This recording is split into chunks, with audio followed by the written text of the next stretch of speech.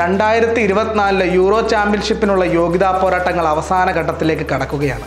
രണ്ടായിരത്തി ഇരുപത്തിനാലിലെ യൂറോ യോഗ്യതാ മത്സരങ്ങളിലെ ഗോൾവേട്ടയിൽ മുന്നിൽ നിൽക്കുന്ന രണ്ട് താരങ്ങൾ പോർച്ചുഗലിന്റെ ക്രിസ്ത്യാനോ റൊണാൾഡോയും ബെൽജിയത്തിന്റെ റൊമേലു ലുക്കാക്കുവുമാണ്. ഇരുവരും പത്ത് ഗോളുകൾ വീതം അടിച്ചാണ് മുൻപന്തിയിൽ നിൽക്കുന്നത്.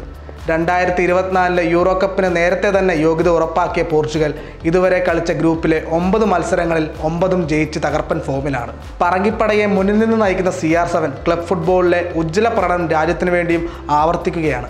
എട്ട് യോഗ്യതാ മത്സരങ്ങൾ കളിച്ചാണ് മുപ്പത്തെട്ടുകാരനായ പോർച്ചുഗൽ സൂപ്പർ താരം പത്ത് ഗോളുകൾ അടിച്ചത്.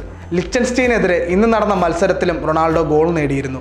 പോർച്ചുഗൽ രണ്ടേ പൂജ്യത്തിന് ജയിച്ച മത്സരത്തിൽ ആദ്യ ഗോൾ സി ആർ സെവന്റെ വകയായിരുന്നു.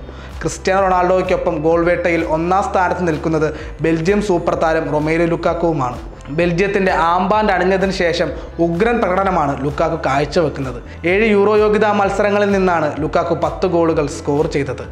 ഏഴ് ഗോളുകൾ വീതം നേടിയ മൂന്ന് താരങ്ങൾ റൊണാൾഡോയ്ക്ക് ലുക്കാക്കുവിനും പിന്നിലുണ്ട്. ഇംഗ്ലണ്ടിന്റെ ഹാരി കെയ്ൻ ഡെൻമാർക്കിന്റെ റാസ്മോസ് സോയിലൻ സ്കോട്ട്ലൻഡിന്റെ സ്കോട്ട് മക്ഡോമിനെ എന്നിവരാണ് ഏഴ് ഗോളുകൾ വീതം അടിച്ചത്. ആറ് ഗോളുകളാണ് നോർവേ സൂപ്പർ താരം എർലി സംഭാവന.